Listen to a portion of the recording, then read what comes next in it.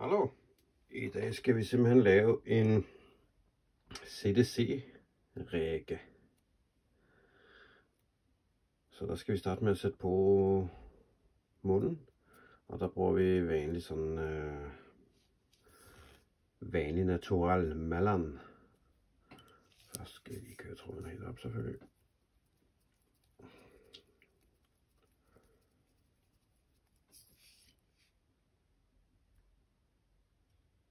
Og det er cirka sådan en krogstykke størrelsen udenfor.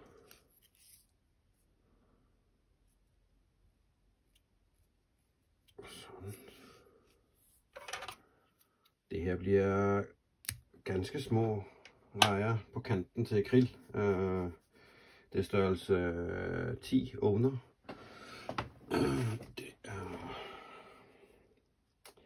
Det er den her bro, det er en vanvittig stærk krog. Den tåler lidt steiner og alt, øh, så før krogspidsen simpelthen går i stykker. Øh, Malleren, det er den helt naturelle, vi lige har sat på nu. Og vi kommer til at bruge sådan øh, pink CDC. Og lidt dobbing. Og lidt flasktråd. Lidt af hvert. Vi går igennem det efter hvert, som vi kommer derud af.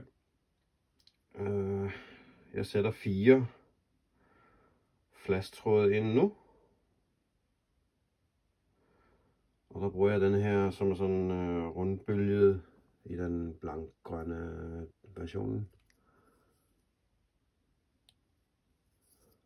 Så for det sidder op på, op på toppen, sådan så de kommer pænt op miljøet. Sådan. Så sætter de simpelthen det, de skal.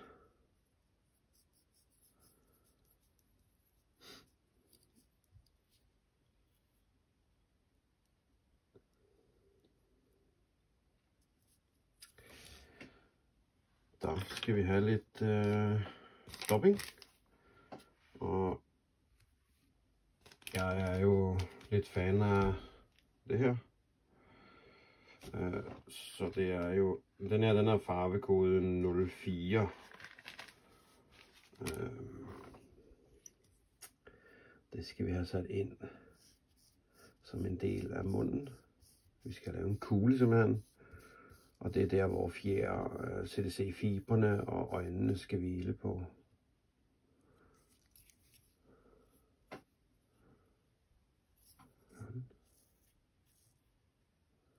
Så det skal være en lidt sådan halvhård kugle, men stadigvæk skal vi få ud nogle fibre sådan i, i munden.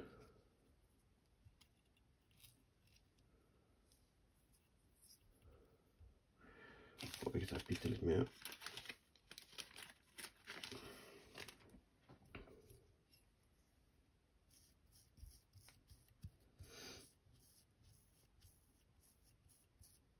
Nu laver jeg den kun med rosa CDC. Man kan også blande lidt hvid ind.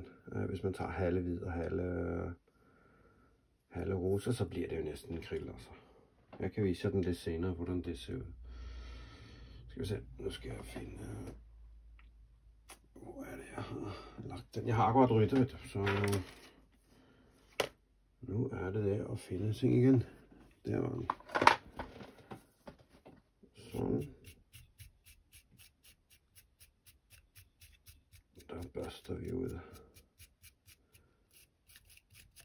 Lidt dobbing. Så. Så hænger det lidt ud sådan i munden. Sådan der.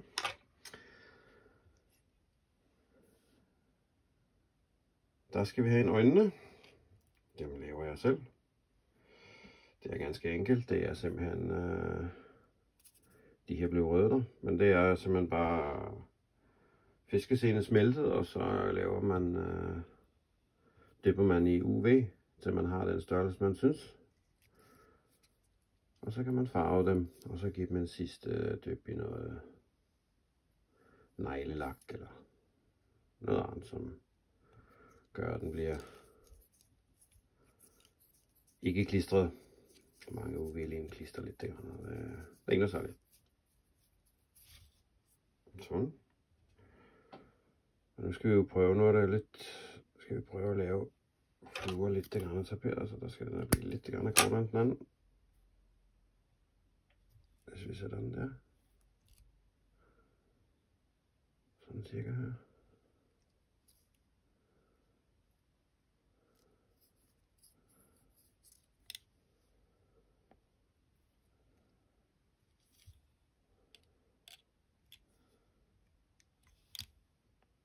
Sådan og sørge for, at det sidder nogenlunde.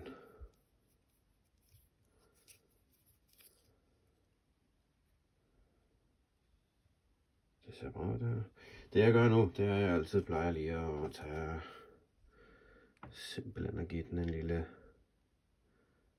dash med lim ned her, hvor øjerne sidder.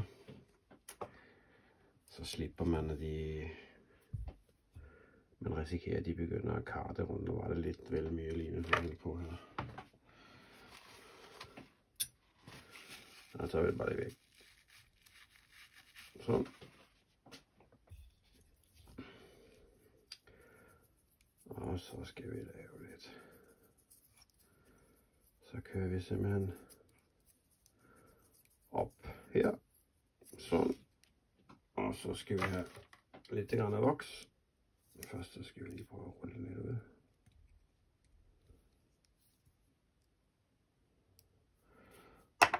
Vokse lidt grann. Nu skal vi have en uh, CDC'en, som skal udgøre selve hovedet på rækker.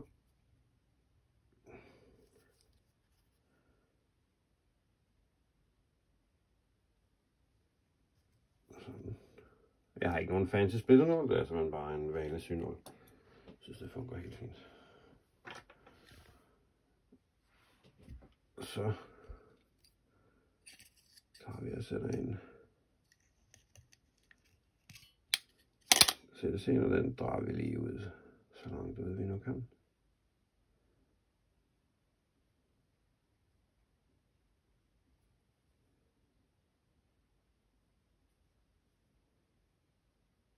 Sådan. Og så giver vi den en spænd.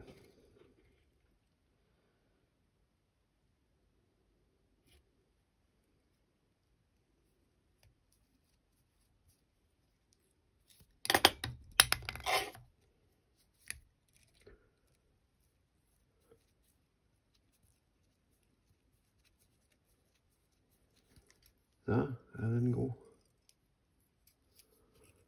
Så kører vi helt frem, hvor vi skal. Og så drager vi hårene frem. Eller fiberne er det jo.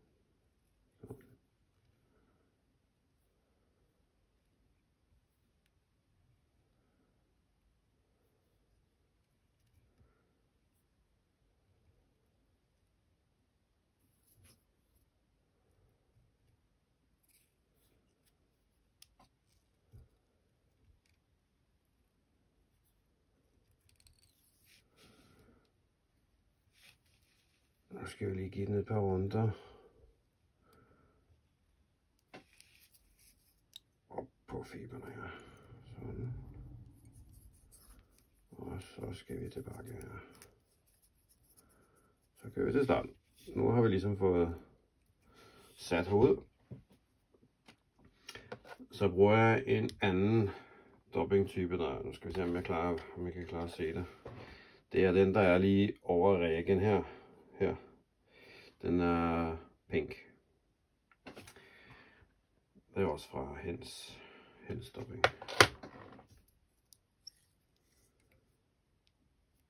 Den ligger vi, skal vi ligge i bunden her. Der laver vi, den her skal vi bruge til at lave taperingen af selve rækker med. Så det skal være nok så tyndt øh, i starten, og så bliver det tykkere og tykkere og tykkere. Så her er det bare at køre det af. Sådan.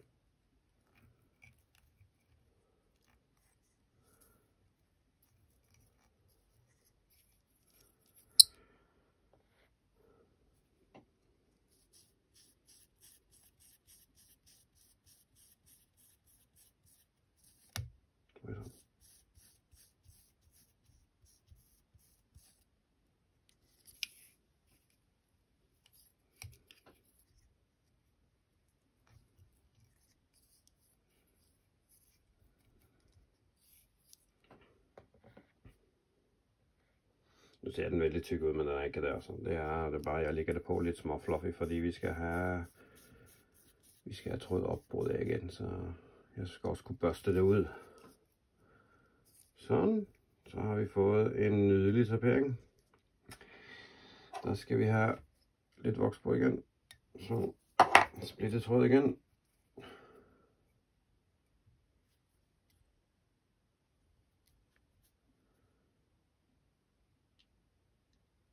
Den her gang må vi spænde lidt først. Spænde lidt mod klokken. Sådan.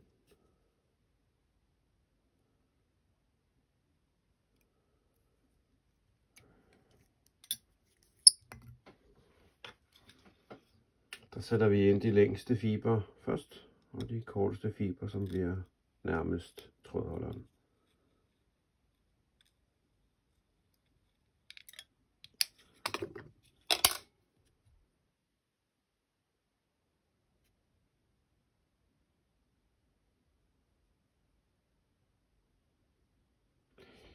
Den splitting her, altså, der er ikke noget tro på.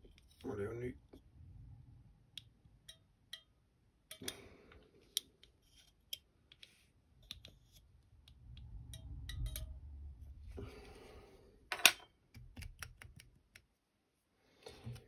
Jeg fik ikke splittet den i midten. Det blev lidt for mye ude på kanten. Sådan der. Det ser lidt bedre. Og så tager vi lige og vokser lidt. Sådan. Nu bliver det bra.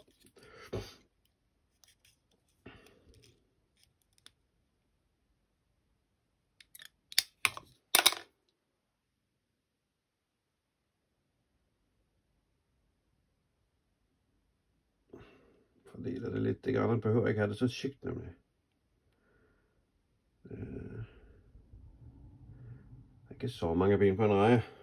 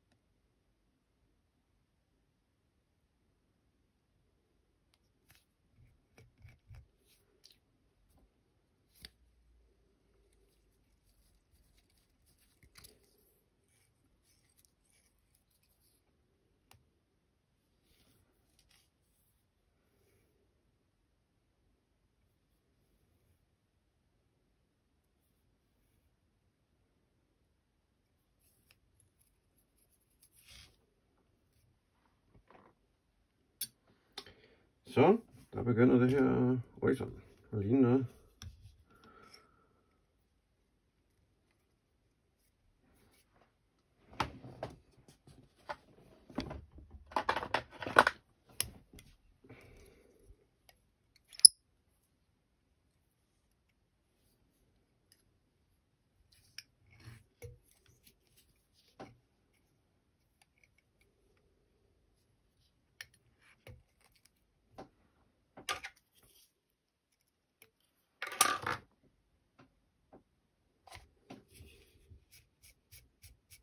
Der børster vi ud lidt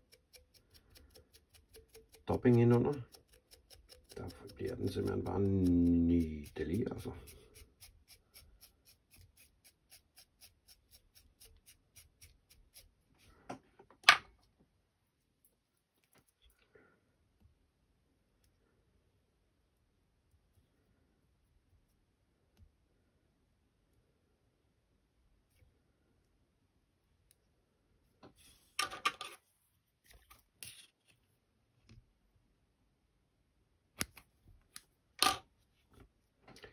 Sådan.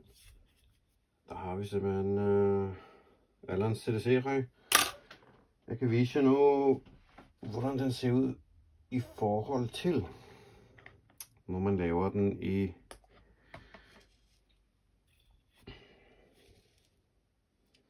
lidt vanskeligt at se her, ser jeg. Øhm, men denne her, den er jo halvdelen er hvid, og halvdelen er rosa, og det, det bliver vældig type grill altså. Men jeg ser på kameraet, så ser man det veldig dårligt.